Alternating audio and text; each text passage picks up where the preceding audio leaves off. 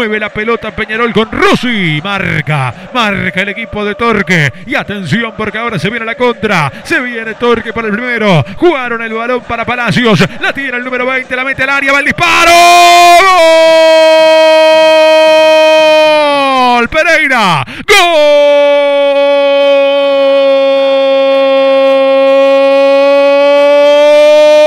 de Torque, gol de Torque, señores, Darío Pereira, en una contra fulminante, en el cierre del primer tiempo encuentra el primero, el equipo ciudadano, el pase por parte del futbolista Palacios, gran definición de Pereira y Torque, Torque se va ganando al descanso en el campeón del siglo, uno para Torque, cero para Peñarol, Darío Pereira y el 1-0. Estás escuchando Fútbol Multimedia. 감사합니다. Y un gran contragolpe del equipo de Sebastián Eguren cuando parecía que Peñarol quedaba mal parado. Aprovecha muy bien Sebastián Palazzo la desatención del fondo urinegro. Le da la pelota a Pereira que define excelentemente ante un Dauso que no tenía nada para hacer. Lo irónico es que yo iba a decir, cuando el partido me diera una oportunidad, que Peñarol desaprovechaba mucho las ocasiones del contragolpe. Peñarol demoraba mucho en reaccionar a la hora de contragolpear, no aprovechaba los espacios que le estaba dejando el rival y le daba tiempo a reagruparse. Justamente Torque hizo todo lo contrario, aprovechó que Peñarol estaba mal parado atrás,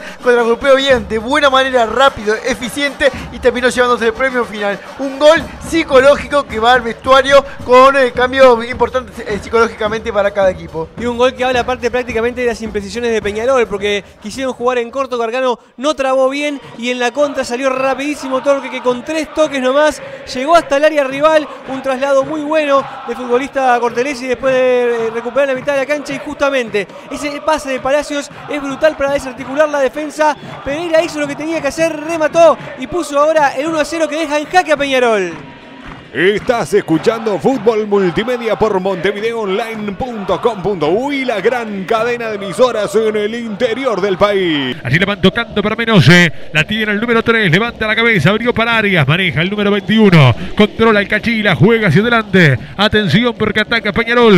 Va buscando la pelota. Le va a quedar a Gargano. Allí pelea el número 23. La pierde. La va a ganar ahora Torque. Atención porque jugaron para Allende. La tiene el chileno. La mete larga. Vino para Pereira. Aguanta Pereira. Envío que va al área. Atención porque busca Nicolás el segundo.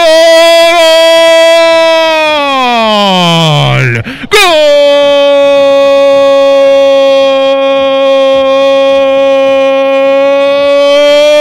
¡Gol de Torque! ¡Gol de Torque, señores! Franco Nicola, el número 21. Un largo pelotazo que vino al área. Controló y definió de gran manera contra el palo izquierdo para que Torque cause estupor en el campeón del siglo. Se encienden los hinchas de Peñarol. Le dicen de todo al equipo. Torque, Torque gana por dos, señores. Dos para Torque, cero para Peñarol. Franco Nicola y el segundo para el conjunto ciudadano.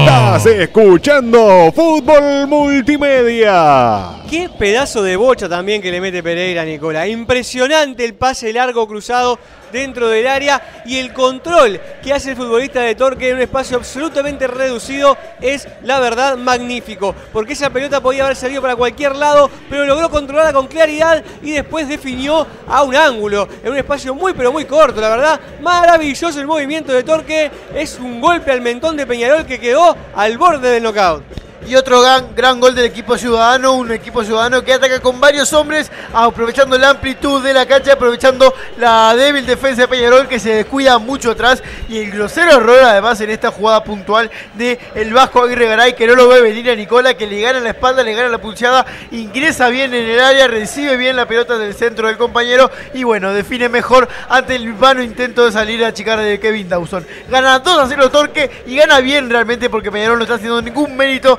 para llevarse este partido. Sí lo hace Torque, que cuando se anima a atacar, ataca bien y sabe concretar. Primer gol del jugador de Torque en el torneo intermedio y también primer gol oficial en primera y con la camiseta de- del equipo de Torque, el jugador de 20 años que está debutando en el día de hoy con la 21, Franco Nicola. Estás escuchando Fútbol Multimedia por montevideoonline.com.uy, la gran cadena de emisoras en el interior del país. Bueno, Pero 91 minutos y medio, señores. Ahora el árbitro está cobrando Un balón favorable a Peñarol. Cobraron penal. Cobraron penal para Peñarol. Bien, penal. Penal para Peñarol, señores. Hay penal para Peñarol. Lo está cobrando el árbitro dentro del área. Penal para el Carbonero. Bueno, atención, eh. La chance para Peñarol de poder descontar en el partido. Penal favorable a Peñarol. Bueno, me parece incuestionable la, decisión de- del árbitro del encuentro. Ari- Arismendi este, terminó bajando la pelota con el brazo dentro del área. Es un tiro penal este, que vamos a ver finalmente quién lo termina ejecutando y que le puede dar un poco de sabor y condimento a estos minutos que parecían totalmente liquidados de partido, porque aparte dio 8 minutos de descuento el árbitro, que me parece un tiempo bastante exagerado para lo que sucedió dentro del terreno, pero ahora le da esto a Peñarol un poco de vida en el final del partido si es que logra convertir desde los 11 pasos, algo que últimamente no se le está dando mucho. Y clara mano del jugador de Montevideo City del Mama Arismendi. Claro penal entonces para Peñarol. Caso de convertirlo, bueno, puede aprovechar este tiempo de más que me parece a mí que ha dado el árbitro de cara al final del encuentro. Veremos entonces qué sucede desde los 11 pasos. Será Juan Manuel Ramos finalmente el ejecutante del tiro penal. Cada jugador tiene su estilo. Encontré el tuyo en María Torres Estilista. Te esperamos en Las Piedras. Reserva al 099 38 10 22. Buena atención, la chance para Peñarol en el cierre del partido. Le va a pegar Juan Manuel Ramos. 93 minutos casi. Dio 8. El árbitro Matías de Armas va a buscar Peñarol. Lo que puede hacer el descuento en el cierre de este partido. A ir a buscar después en los minutos finales el empate. Le va a pegar Juan Manuel Ramos. Va a dar la orden al árbitro. Allí se prepara para darle el número 22. Atención, se mueve Guruciaga. Viene Ramos, va al disparo. ¡Gol! ¡Gol! De Peñarol.